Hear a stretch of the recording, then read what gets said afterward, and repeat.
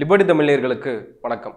இந்த நேர்காணலில் நாம் சந்திக்க இருப்பவர் விடுதலை சிறுத்தைகள் கட்சியின் மாநில துணை பொதுச் செயலாளரும் நாகப்பட்டினம் சட்டமன்ற உறுப்பினருமான திரு ஆலூர் ஷானவாஸ் அவர்கள்.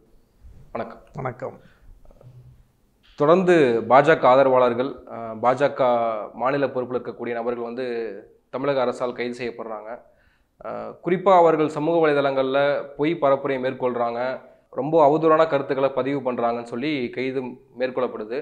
ஆனால் இது கருத்து சுதந்திரத்திற்கு எதிரானது அப்படின்னு பாஜக தரப்பிலிருந்து வாதங்கள் முன்வைக்கப்படுது. உங்களுடைய பார்வை என்ன? இல்லை ஒரு எஸ்ஜே சூர்யா கைது செய்யப்பட்டிருக்கிறார். அவர் சொல்லாத கருத்துக்கு எதுவும் கைது செய்யப்பட்டிருக்காரா? இல்லை. அவர் தவறான கருத்தை பதிவு செய்து புகார் எழுந்து கைது செய்யப்பட்டிருக்கிறார். இன்றைக்கி வந்து ஒரு லேடி பாஜகவை சார்ந்த பொறுப்பாளர் நேற்று வந்து அண்ணாமலையால் அவார்டு கொடுக்கப்பட்டவர். அவர் கைது செய்யப்பட்டிருக்கிறார். அவர் பொய் புகாரில் கைது செய்யப்பட்டிருக்காரா? இல்லை. மிக கொச்சையான ஒரு சமூக வலைதள பதிவுக்காக கைது செய்யப்பட்டிருக்கிறார். அதுவும் விஜய் குடும்பத்தைலாம் இழுத்து மிக மோசமான ஒரு பதிவு.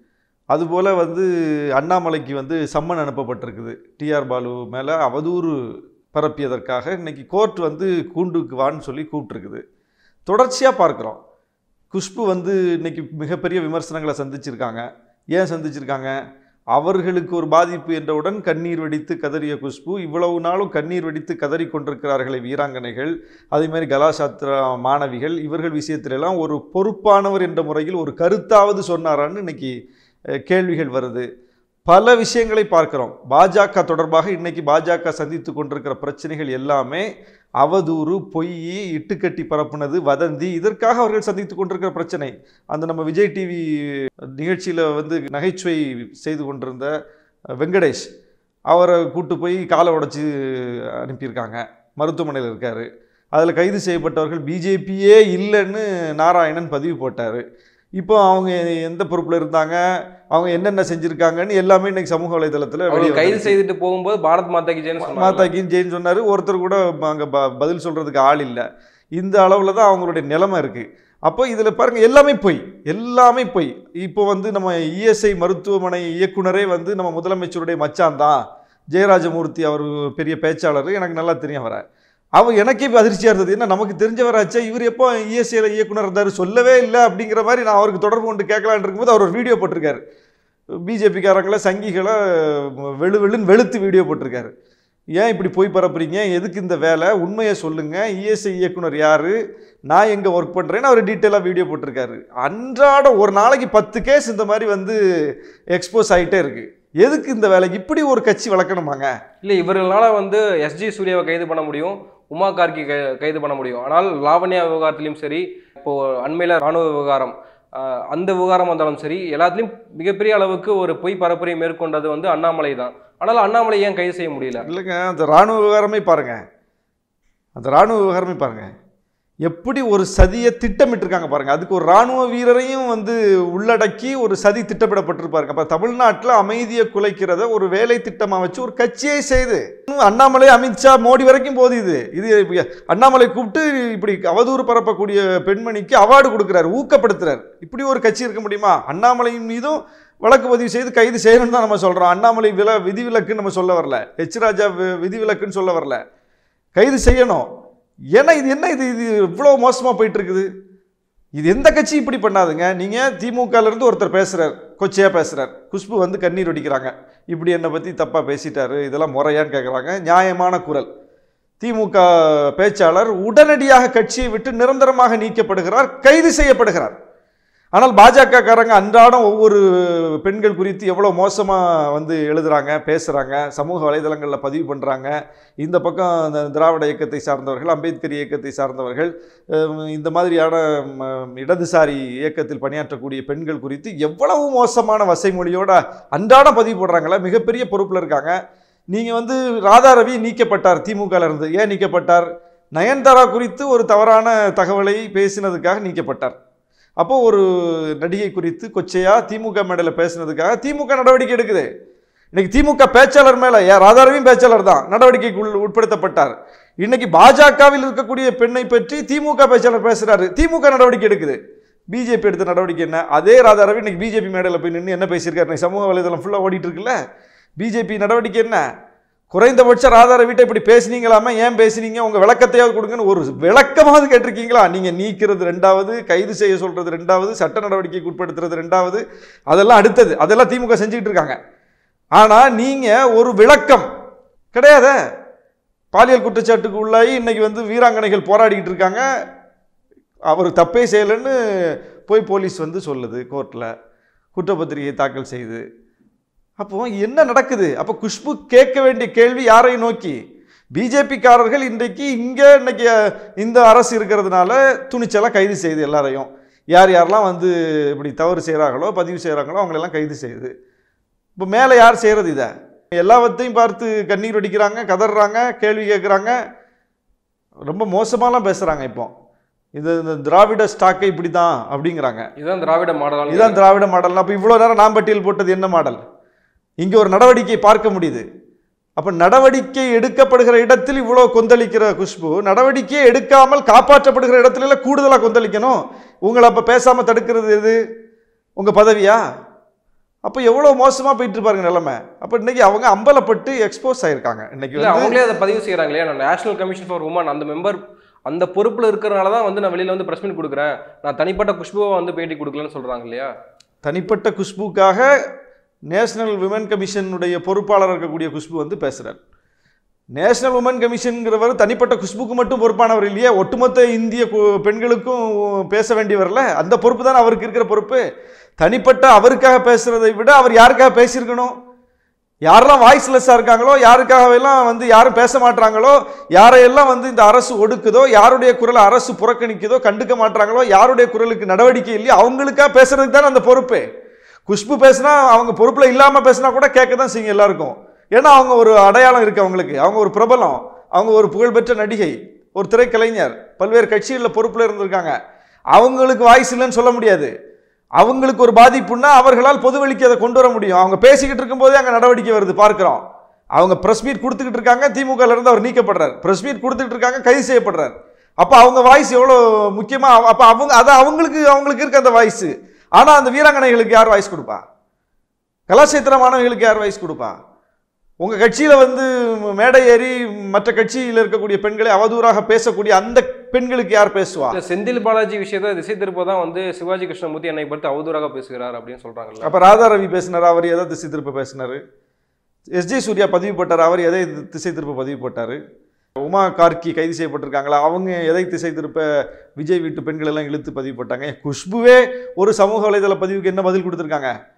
உங்கள் வீட்டு பெண்ணெல்லாம் வந்து இப்படி செய்வீங்களான்னு கேட்குறாங்க எல்லாவற்றுக்கும் பெண்கள் தான் இலக்கான்னு கேட்கக்கூடிய குஷ்புவே பெண்களை தான் இலக்கா வைக்கிறாங்க. உங்கள்கிட்ட கேள்வி கேட்டது ஒரு ஆண். அந்த ஆணை நோக்கி நீங்கள் பதில் கேள்வி கேட்டிருக்கலாம். அந்த ஆணை விமர்சிச்சிருக்கலாம். அந்த ஆணை நேரடியாக நீங்கள் வந்து சுட்டி காட்டலாம் ஆனால் நீங்கள் அந்த ஆணை விட்டுட்டு அந்த ஆண் வீட்டில் உள்ள பெண்ணை இழுக்கிறீங்க. குஷ்புவே இதைத்தான் செய்கிறார் குஷ்பு கிழக்கே பெண்ணாகத்தான் இருக்கிறது. ஆண் இல்லை. கேள்வி கேட்டது ஆண். அந்த வீட்டு பெண்ணில் வந்து கேட்கல. குஷ்புட்ட வந்து இப்படி கேள்வி கேட்டது யாரு? அந்த பதிவு போட்டவருடைய வீட்டு பெண்களாக வந்து கேட்டாங்க. இல்லை பதிவு போட்டிருப்பவர் வேற. ஆனால் அவரை விட்டுட்டு அவர் வீட்டு பெண்களை இழுத்து இவங்க பதில் சொல்கிறாங்களா அப்போ குஷ்பு மனநிலையே எப்படி இருக்கு?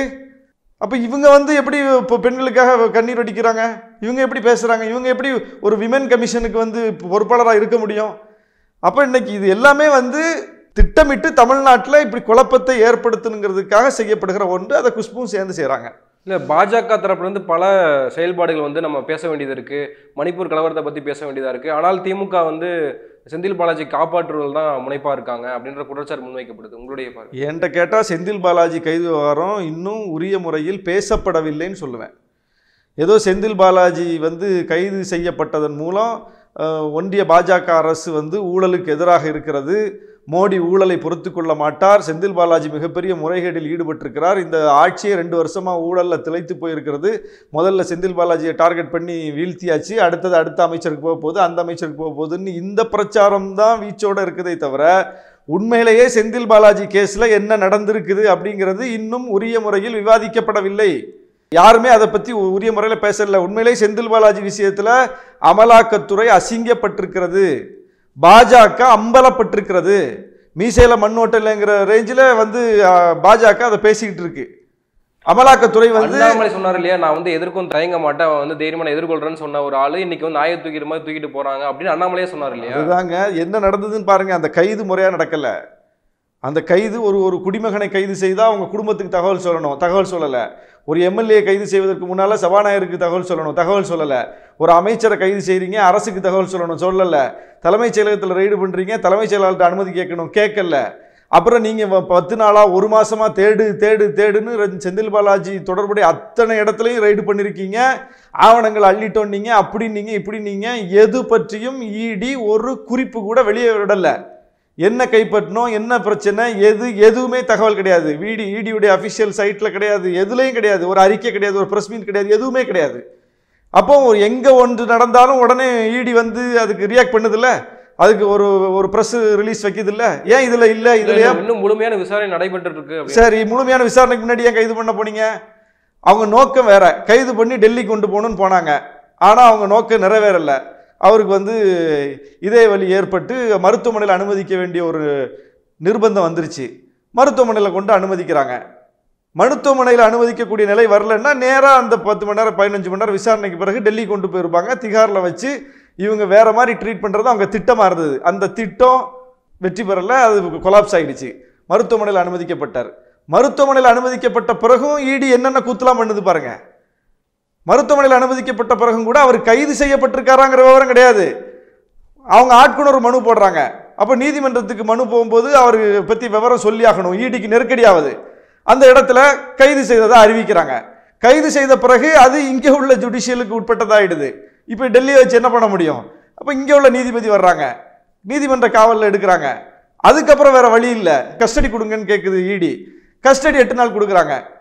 கஸ்டடி கொடுத்த பிறகு நீங்கள் வந்து இந்த ஹாஸ்பிட்டலில் தான் இருக்கணும்னு இடி சொல்லுது. சம்மந்தம் இல்லாத விஷயம் அதெல்லாம். இல்லை நாங்கள் காவேரிக்கு போகிறோம்னு சொல்லுது.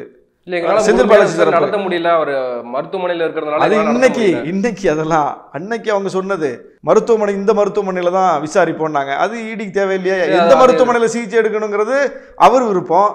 அவர் அப்ப கோர்ட் வந்து இடி சொன்னதை நிராகரித்து காவேரி மருத்துவமனைக்கு போறதுக்கு அனுமதி கொடுத்தது. அப்ப அந்த இடத்துல பின்னடைவு யாருக்கு? செந்தில் பாலாஜிக்கா ஈடிக்கா ஈடிக்கு அதுக்கப்புறம் வந்து தூக்கிட்டு சுப்ரீம் கோர்ட் ஓடுறாங்க. எங்களுக்கு வந்து இந்த கோர்ட் மேலேயே நம்பிக்கை இல்லைங்கிற மாதிரி சுப்ரீம் கோர்ட்டுக்கு போறாங்க. அவசர வழக்கா எடுங்கிறாங்க. அவசர வழக்காக எடுக்க முடியாதுன்னு உச்சநீதிமன்றம் சொல்லுது. பின்னடைவு யாருக்கு? செந்தில் பாலாஜிக்கா ஈடிக்கா ஈடிக்கு அதே மாதிரி இந்த மருத்துவர்கள் வந்து சொன்னதில் எங்களுக்கு நம்பிக்கை இல்லை அப்படின்னு சொல்லிச்சு இடி. நீதிமன்றம் ஏற்றுக்குச்சா இல்லை. மருத்துவமனையில் வந்து இந்த மருத்துவர்கள் மட்டும் இல்லை ஒன்றிய அரசினுடைய இஎஸ்ஐ மருத்துவர்களும் கொடுத்துருக்காங்க. அதனால் உங்கள் வாதத்தை ஏற்க முடியாதுன்னு கோர்ட்டு சொல்லிருச்சு. அங்கேயும் பின்னடைவு ஈடிக்கு தான் தொடர்ந்து செந்தில் பாலாஜி கேஸில் பின்னடைவை சந்தித்திருப்பது இடி. ஆனால் வெளியே என்ன பேசுகிறாங்க இடி எதையோ கண்டுபிடிச்சிருச்சு இடி வந்து முடக்கிருச்சு இடி வந்து அஹ், சாதிச்சிருச்சு செந்தில் பாலாஜியை முடக்கிருச்சு செந்தில் பாலாஜி ஒன்றும் முடக்கல. செந்தில் பாலாஜி நோய்வாய்ப்பட்டிருக்கிறார் அந்த நோய்க்குரிய சிகிச்சை எடுத்துக்கிட்டு இருக்கிறார். இடி எட்டு நாள் கஸ்டடி எடுத்தாங்களா? விசாரிச்சாங்களா? இல்ல விசாரிக்க முடியலன்றாங்க. அப்போ இதுதான் கதை.